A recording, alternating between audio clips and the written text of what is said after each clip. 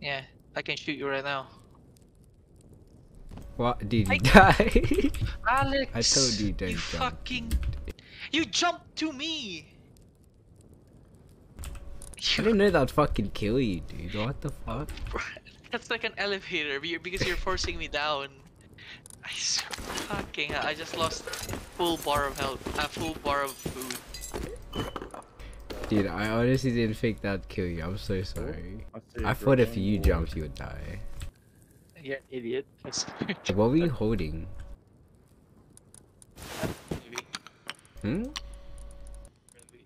Did you have two revies on you?